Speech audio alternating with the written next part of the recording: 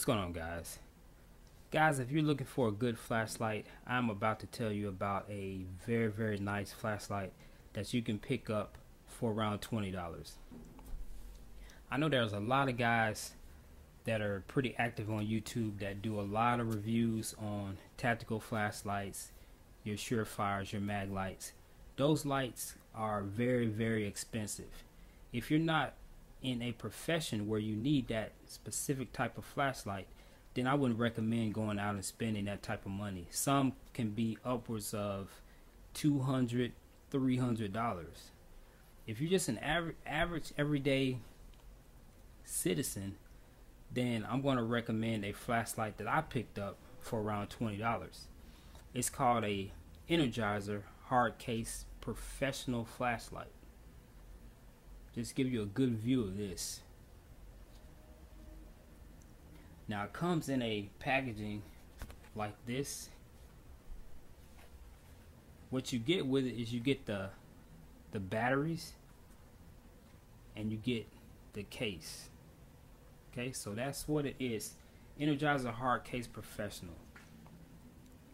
Now on the outside of the flashlight, it's covered in a hardened plastic that's supposed to survive a 28.8 feet drop with no damage.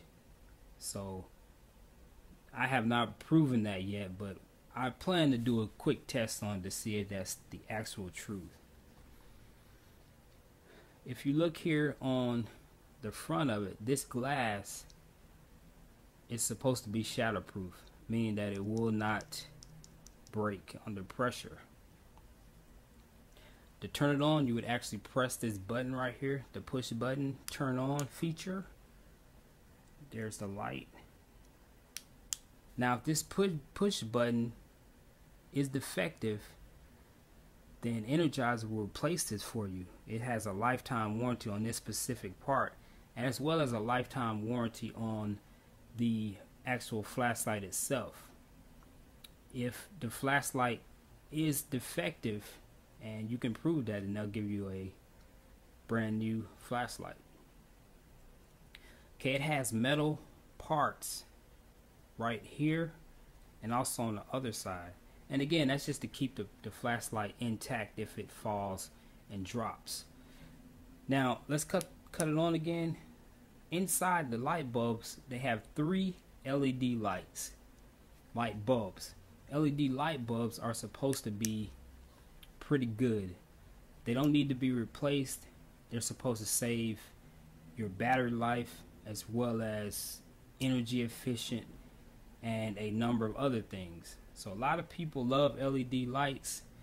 Some people are against LED lights. So you be the judge of that.